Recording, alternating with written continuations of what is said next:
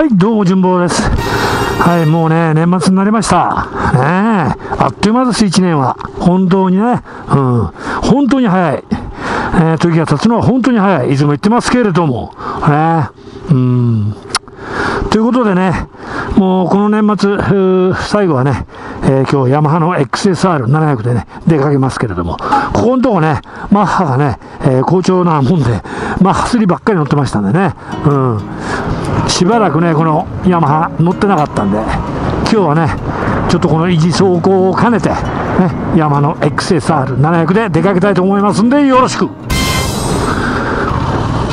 はい、という、おお、滑ったね。まだタイヤがね、冷たいからね、うん、気をつけないといけない。危うくスリップ。まあ、順もね、この XSR についてるね、このピレリ、ファントム、あんまり信用してないんでね、今少しスライドしましたけれども、ね、よくあるんですよ。ね、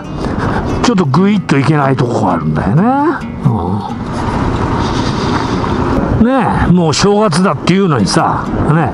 うん、年末最後来て、ね、バイクで焦げちゃったなんつったら、シャレになりませんからね、まあ、あの見てる方はね、面白いんじゃない？ね。だけどやっぱり、ね、焦げるのは恥でもあるし、かっこ悪いからね、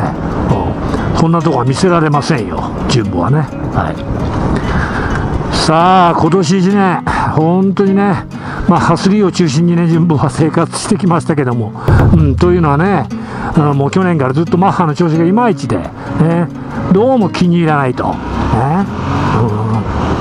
うん、どうも気に入らない状態がね、ずっと続いていたんでね、うん、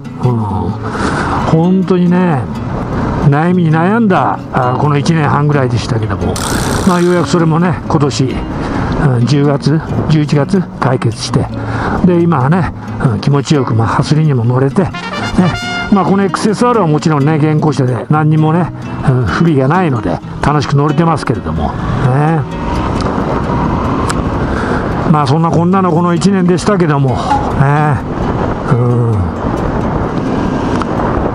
さて、渋滞してない方向を向かいましょう、うんちょっと都内行きたかったんですけど、渋滞してるそうなんでね、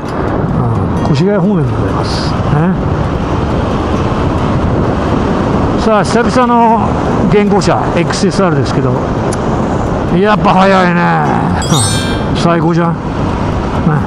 最高じゃんって言えばさ、今年はね、うん、12月18日、ね、日本武道館、矢沢永吉ね、行ってきましたよ、全部。ね、最高でした、やっぱり。A ちゃん最高でしたよ。ね。うん。A ちゃんコールなしでしたけどもね。A ちゃん、A ちゃん、これなしでしたからね。いつもあるんですけども、ね、今回はそれなしで、ただ拍手のみでね、A ちゃんコールなし、みんなマスク着用ね、本当皆さん、お客さんね、ちゃんと A ちゃんの言うことを守ってね、コンサート無事に終わりましたけれども、ね、最高でした。まあ、順坊はね、この A ちゃんのライブ行く前に、後輩たちと一緒にね、靖国神社の方にお参りしてね、参拝して、うんそれで気持ちいい感じで、あの武道館行ったんですけれども、ね、まあ、A ちゃん、懐かしいナンバーからね、最近のナンバーまで、えー本当にね、72歳とは思えないフルパワー2時間ね、うん、ライブばっちり楽しませていただきましたけれども、ね、来年も A ちゃん頑張るそうなのでね、うん、順番も頑張りたいなと、A ちゃんを見習ってね、うん、行きたいと思いますんで、よろしく。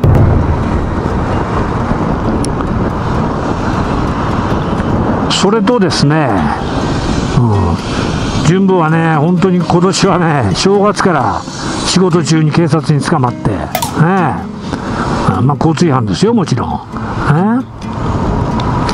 まあ、そんなこんなで、1月、2月、3月を、もう3ヶ月連続で交通違反で捕まっちゃった。ね、どうにもなんないよ、本当。ねまあ、何しろ不運だったと、ねマッハの不調からして不運ですけども、うん。そういったね、交通違反でも捕まるし、もうタクシーの運転手なんかやってるとさ、時間と売り上げと、もうずっと頭の中あるんでね、ついついね、売り上げのこと考えて時間を気にしちゃうんでね、吹っ飛ばしちゃうんですよ。ほんで、まあ、一時不停止しちゃったりとか、ね、うんプロのくせにね、やっぱり売り上げ優先になっちゃうとね、うん、そういうふうになっちゃうんですよね。ほんでメンテになっちゃってねほんとろくなことがなかった。ね。まあそんなこんなでねもう仕事もね疲れ果ててたんですよね順保の場合、うん、もうね結構長くタクシーの運転手やってきまして、うん、疲れちゃってたね。本当1日行くだけでも普通の人の1週間分ぐらい疲れちゃう。11時間ぐらいね、うん、毎月24日働くんですけども、ね、もう休憩もしない。飯も食わないでね仕事しますから。ずっと走りっきり、えー、終わるともうくたくたですよ。ね。それでもバイク動かさなきゃいけないしね。うん。だからもう仕事終わるともう帰ってきてバターンですよね、うん、仕事終わってバイク乗ってバターン級ね。全然運動しない、ね、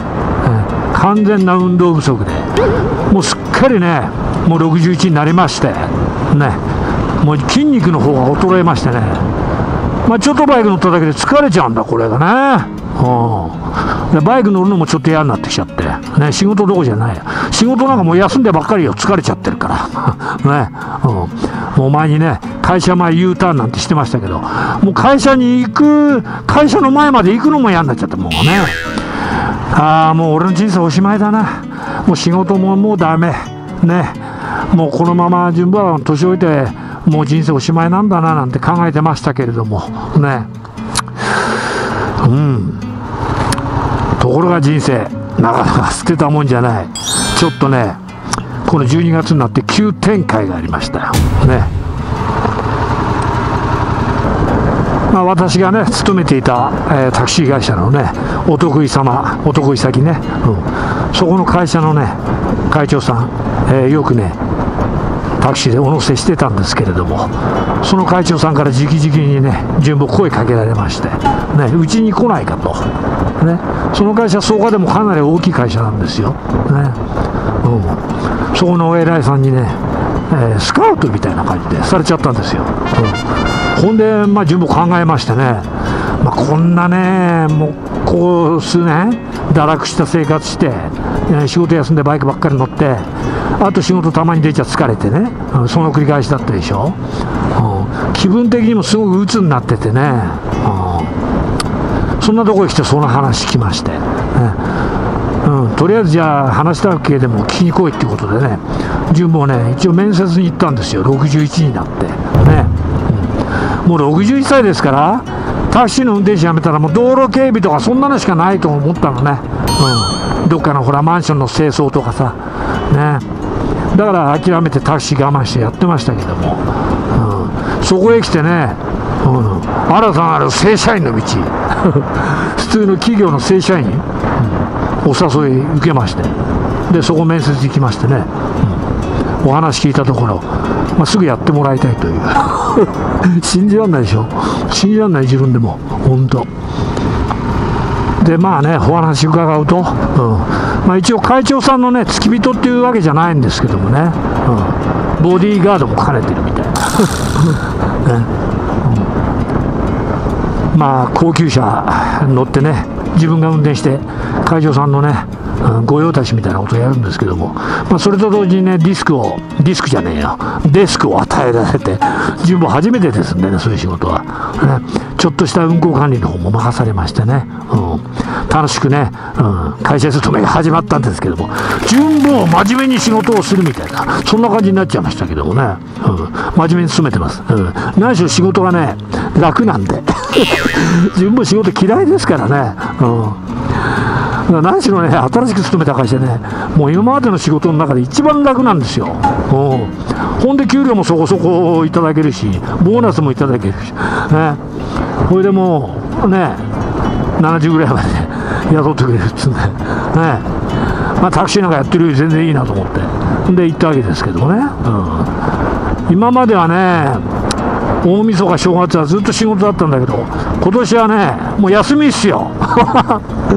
年末正月おかげさまで。ね。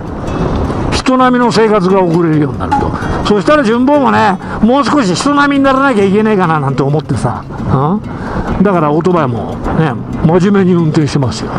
今回。ね。そんな感じでね。まあ、順坊がね、いい会社に再就職できたという、ね、そういうご報告しときますね。はい。何しろ車すごいですよ。天皇陛下が己になられてる車と一緒の車を運転してますからね、神保は。まあ、ね、そうかしないちょこちょこっと走るぐらいな程度ですけどもね。うんまあ、あとは昼寝してるとか、遊んでるとか、ね、運動してるとか、うん、好き勝手なことやってていいっつうんですから、朝出てって、ね、素晴らしい会社ですよ、本当にね、びっくりですよ。はいまあ、今月から勤めてるんですけどね、来月給料ですけど、本当給料もらえるのかっつうぐらい、そんぐらいイーズイな、ね、ビジネスなんですけども、はい。まあね、本当、さっきも言いましたけども、順保この1年ついてなかったんですけども、最後にね、あ月が回ってきたかな、本当、ね、マッハが治って、ほんで、仕事再就職できたと、ね、最後になってやっと月が出てきた。この月を落としたくないから、順保はね、うん、慎重に行きますよ。ね、今までは結構焼けっぱちで何度もやってたけどね、うん、いい仕事にもありつけたしね、うん、ちょっとね、自分自身のね、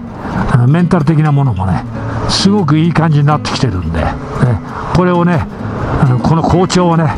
維持して、え、生活していきたいななんて、順部はね、この国に来て今思ってますけども。はい。さて、ね、まあ、順部の話はまあこの辺にしといてね、本当にね、うん、今年も、ね、視聴者の皆さん、本当にね、順部の動画見てくださって、本当にくだらない動画ですけども、ね、ただ走るばっかりで、脳書きばっかり言って、ね、アホなことばっかり言って、そんな動画でしたけれどもね、今年も1年ね、うん、そんな動画に皆さん本当にね、あのちゃんと付き合ってくれてありがとうございます。ね、来年も一つ動画よろしくお願いいたします。はい。順番はあの真面目になりますから、しばらく。しばらくでね、もう死ぬまで真面目ですから。ね、今まで不良の順坊みたいな、不良じじいみたいな、そんな感じで来ましたけども、来年は、ね、もう貧困法制な、ねうん、一社会人として生きていきたいかななんて思ってますけどね、一社会人、一ライダーとして、うん、ライダーとしては無理かな。うん、ライダーとしてはちょっと微妙ですけど、今まで通りだと思いますけどもね。